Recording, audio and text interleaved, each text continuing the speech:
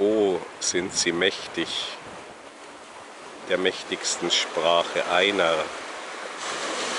das wäre gar prächtig. Und sind sie mächtig der tiefsten Gedanken Dreier, pass auf, das macht trächtig.